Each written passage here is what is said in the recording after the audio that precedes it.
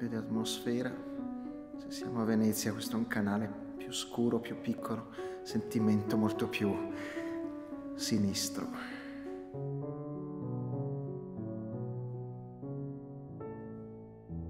Il basso che ci annuncia il movimento delle onde.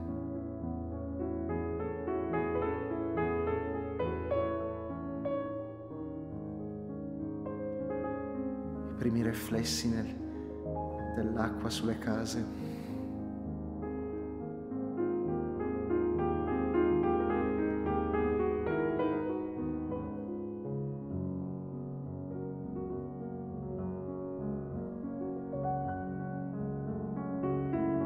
prima piccola turbolenza, non sappiamo dove andare.